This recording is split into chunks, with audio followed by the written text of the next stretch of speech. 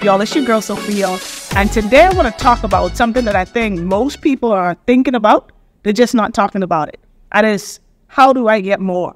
And when I'm talking about more, I mean in every area of your life, but specifically, how do I get more money?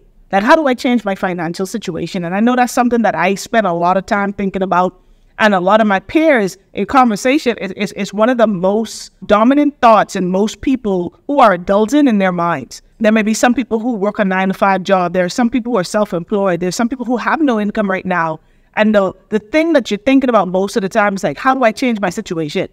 You know, I, I don't have kids. I just got a dog and he's sitting here in my lap right now. And I know a lot of people have families, they've got kids. They're trying to figure out how to how to make that that shift and I want to have that conversation. I want to talk to everyone today about the fact that it's okay to want more. I don't know about y'all, but we live in a society, we live around people who try to make us feel bad or make us feel less than when we're thinking about really elevating and generating wealth or changing our financial situation. There's nothing wrong with that. And I think the, the reason that as a community, right, a lot of people are struggling is because we don't have these conversations. We try to go around the thing. We try to go around conversations like these, which need to be had because you can only really improve a problem that you address, that you talk about, that you discuss. And then you got to get around people who are who are like minded, people who are just like you, who have similar goals, and you, you discuss ideas to change the situation. And that's what you know I want to do on this channel. That's what I want to do in this community. That's what I want to build is a is a tribe of like minded people who said, listen, I know that wealth is a birthright. I know that God didn't create me to struggle. I know He said in His word that He put me on this earth to dominate and to create abundance. So, how do I do it? And one of the things that we've got to start doing is we got to be okay with having these kind of conversations. It starts with being aware, it starts with uh, recognizing and acknowledging what it is that we truly want. And I think that's that's really where this conversation can start is what do you really want? And I don't think we spend enough time because it's always looked down upon for us to really figure out what we want in life. Like, what car do you want to drive? What neighborhood do you want to live in? What toys do you want? How do you want your kids to live? What kind of clothes you want to wear? Guys, it's okay. It's okay to think about these things. And if you know me, y'all, I'm not into things at all. I'm not flashy. You all see I got on a black t-shirt. I'm not into design. I don't care what stage I'm at in my life when I'm making money. I'm never thinking about what I can go and buy, like as far as stuff. What I am guilty of is I'm about experiences. I like to eat. I like to eat well. I like to be in nice atmospheres. I like to, I like to travel. I like to experience new cultures. So that's where I'll spend, and nothing's wrong with that either. But you got to identify what it is you truly want. And you got to be okay with one speaking about it, thinking about it, and really coming up with a game plan to actually achieve it. Because if you have a desire and you don't have action steps to back it up, it's really just wishful thinking. And I'm sure most people you don't want to just wish about your dream life. You want to actually live that. You want to make that reality. And the only way to go from where you're at to like the top of the mountain, which is your goal, is you got to have a plan. You got to have a map. You got to have a blueprint to get there. I don't think we spend enough time, you know, as individuals and as, as community focused on that. And I think we spend so much time looking at the few people who do have it, I guess comparing our situation to them and trying to nitpick and criticize them on how come they've got it and we don't. But if we would just switch that energy and transfer that energy from from from comparison, which is the thief of joy, to really our planning and preparation so we can have it for ourselves, I think we'll move so much further. So, what do you really want? What do you really, really, really want? And it could be material stuff, y'all. A lot of times when I have conversations with people, and I'm guilty myself, people would say, What do you want? And I kind of said something that was just good for the human race, good for humanity. No, what you really want? Like, I want a Bentley Continental GT. I want a 30 foot boat with twin engines. I could go from Florida to the Bahamas whenever I want to. I want a business that's creating passive income. Doesn't matter where I'm at, I'm at in the world. These are things that I want. I want to be able to help my community. I want to be able to help my family. I want to be able to help my friends and and and and invest into their dreams and their their goals. These are things that I truly want to do. But before, I wouldn't say I wanted the boat or the car or the, or the penthouse. And I, and I think that when you're thinking about your goals, you got to really want something for you to actually do what's required to get it. Because getting what you want ain't easy. We already know that. That's why most people struggle because the easy way is typically the way that don't take us to what we want. It just helps us be comfortable. And one of the greatest enemies of getting what you want in life is being content, being complacent, being comfortable. You got to get uncomfortable because because when you're uncomfortable, that forces you to grow. And yo, I, I, read a lot of books, I watch a lot of videos, I listen to a lot of audios, and one of my mentors from afar, his name is Dr. Myles Munroe. He said that anything that you're willing to tolerate, you'll never change. And so much times we focus on the things we like in life, we got to start spending some time with ourselves and figuring out what we hate. Because he said, only the things you hate, you'll actually change. And we don't talk about what we hate because that's not normal. Society has conditioned us to just have wishful thinking, which is great. You got to have a positive attitude. But you have to have some deep conversations with yourself and figure out what you don't like. What are you refusing to tolerate in your life? Think about it. If you're in a relationship and you got a partner who's lying to you all the time and you tolerate lying, they're to always lie because you tolerate it. But if you hate lying, you'll never date a liar because the second they start lying, you're like, man, you out of here because you won't tolerate it. What you won't tolerate, you'll change. And I want you to think about that. That's something I had to do, and I'm still doing it all the time. Is I'm figuring out what is it that I totally don't like, like I hate it, that I won't tolerate in my life. And when you figure those things out, as soon as you get a red flag or a sign of that in something or someone or a situation, you'll change it immediately. You won't deal with it. And that's how we get closer to our goals because there's going to be some things that you're going to have to eliminate from your life. There's going to be some habits you got to eliminate. There's going to be some friends, some family you got to have to, you know, distance yourself from from a while in order to grow. That's why they say elevation requires separation. Elevation requires isolation. It's not because you're a jerk or it's not because you think you're better than other people, but in order for you to really go to your next level, there's a lot of things you got to leave behind in order to go, in order to grow. And I think that's something we got to really embrace when it comes to our finances. You know, you got to be willing to distance yourself from some things you used to do your whole life. Some people used to kick it with your whole life. Some friends who you know your whole life. If they're not aligned with where you're going, you got to leave them alone for a while. You got to. There's no other way. And something that I know I'm guilty of, and I've been guilty of, is a lot of times I've got good friends who I have history with, but their behaviors do not align with where I'm going. And I still stay around them. And every time I hang out with them, I, I'm upset the next day because that interaction took me further away from my goal. Y'all ever had like a friend who just spends money? They always want to do something that's requiring spending money, and they broke. They ain't got nothing going on for them in their life. And you're here on this path to wealth creation, this path to accumulation, right? To go into your next level. And even though you know you you don't need to be hanging out with that person, you like, man, I don't want to treat them like that. I feel guilty. I'm a, I'm a kick it with them. Every time you kick it with them, you end up spending money you would have never spent if you would have just said no. Anyone, is it just me? If that's happened to you before, go ahead and let me know in the comments. Because it happens to me. I have different friends where that happens. And all that is is an indicator that someone you got to distance yourself from right now.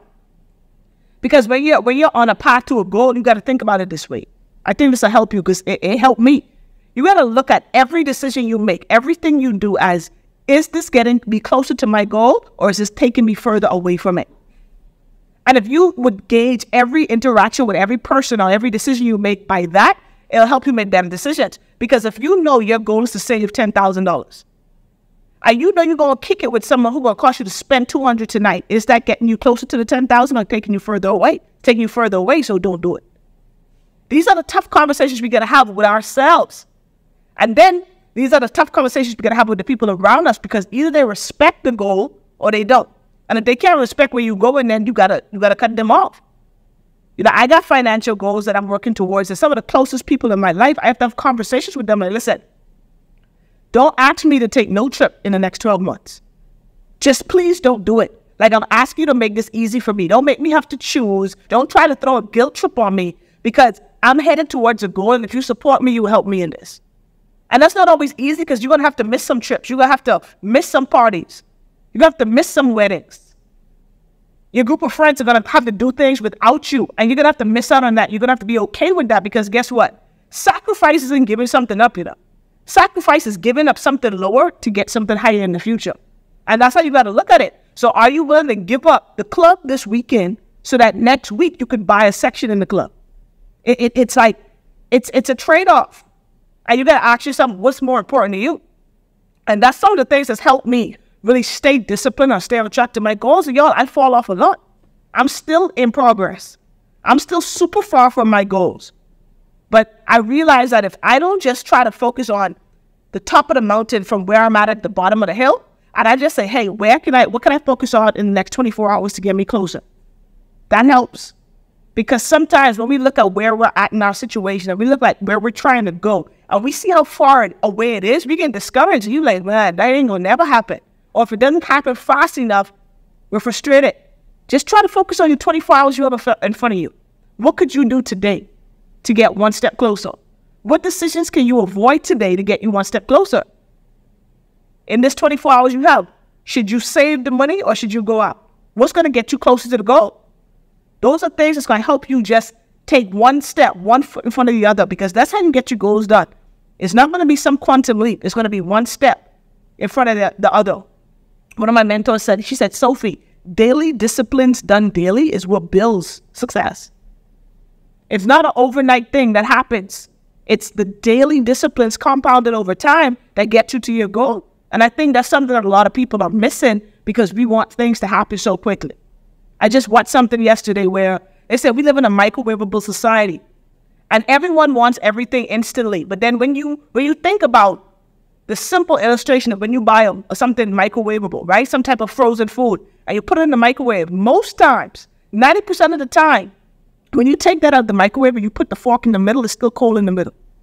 But the difference between that and like your grandma's cooking, that food tastes so good is because she took time. It's not instant, it's a process. Sometimes they're marinating the, the meat overnight. They're cooking from 6 in the morning and you don't eat till 5 p.m. Because of the process it went through, is going to be better. It's the same thing with our goals and our dreams. If we embrace the process, the, the result going to be better. But if we want it instant, it probably won't be long lasting. And I think that these are some of the things we got to start thinking about on a daily basis, man. Like I know if you're watching this video, I know you want more. I know you want more money in your account. You're probably sick and tired of only having enough to pay bills and nothing left to do the things you really want to do. I know what that feels like. But guess what? We got to be motivated every day to say, hey, the shift must come. So, what can I do today to make sure that the next six months is going to be different? The next 12 months is going to be different. A year from now, two years from now, life is going to be different. It's based on what we're doing today, the decisions we make today. You can't make decisions five years from now. I think that's going to change then. The decisions we make today change the next five years. So it's delayed gratification, y'all. So important. And I think these are the conversations we don't want to face with ourselves. And these are the conversations we don't want to sit with our friends and have. Let's normalize getting together with friends, buying a bottle, going to someone's crib, you spend $40 on a bottle that'll last you all night instead of going to a club where you're spending 200 each. What's the point in that? That's not helping anybody. And then when you when you having your, your, your good times and creating memories, talk about stuff that matter. Don't talk about what's happening on social media. Don't talk about what's happening in someone else's relationship. Talk about the future. How are you going to buy real estate? How are you going to buy land? How are you going to be able to build businesses? How can you guys partner together to, to, to participate in group economics to really grow? Th- those are goals, y'all. And what I'm looking for is I'm looking for people to build a community with who are thinking of these same things. And we don't have to have it all figured out. We just have to be willing to figure it out and work towards it. That's all. If you're willing to do that, then you want to be a part of what we're building. You want to be a part of this community because it starts with us. It starts with each one of us reaching each one of us. And each one of us can reach others. But we got to do it through our example. We got to do it through our behaviors. We got to do it through what we're talking about. We've got to lead by example, y'all. And you don't have to know what to do, how to get from step from, from point A to point Z today. You just got to know you want to go to Z, and you got to be willing every day to get a little closer. And that's what it's all about. So we got to keep having conversations like this. We got to talk about businesses. We got to talk about investments. We got to talk about how we can get involved in real estate. We're to talk about the mindset we need to have, how to, how to find mentors, and get in the company of people who can help elevate us to the next level. Some of us need to just change the company we keep. All of us probably heard that from our parents, and we were like annoyed when they would say it to us. But I'm telling you, birds of a feather flock together. And that doesn't just count when it's negative. That counts when it's positive too. Because if you got people who are all thinking about goals and dreams and creating millions of dollars and, and creating business empires, guys, it's going to rub off on you too. All you gotta have is a desire. So I hope y'all got value from this video, man. I'm gonna keep these videos coming, you know, one day at a time. The goal eventually is to be able to impact the world, but it's gonna start with you watching this right now, maybe sharing this with someone you know. I don't know how it's gonna happen. All I know is I every single day I gotta do something to get close to the goal. So let's do it together. It's like going to the gym. It's easier to go to the gym consistently when you got someone you're going with. Trying to do it by yourself is gonna be tough because when you don't feel like doing it, you won't. But if you got other people depending on you, if you got a community of people who are all wanting to win and see you win as well, it's going to be a whole lot easier. And that's what we're building. So I'm hoping to see you guys all the time. Share it. Anyone you know that's like minded, tap them into what we're building. And let's grow this thing together one day at a time, one step at a time, one person at a time. And together, y'all, we not only gonna be able to change our own lives, but we're gonna be able to change the world. All right? So y'all have a good one. Stay blessed. And I'll see y'all in the next one. Peace.